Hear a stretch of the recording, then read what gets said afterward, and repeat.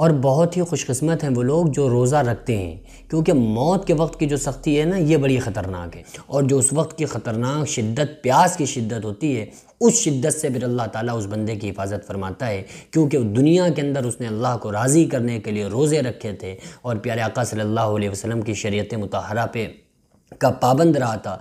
इस वजह से उसकी मौत के वक्त की जो सख्ती होती है तो उस वो सख्ती उस पर नहीं की जाती।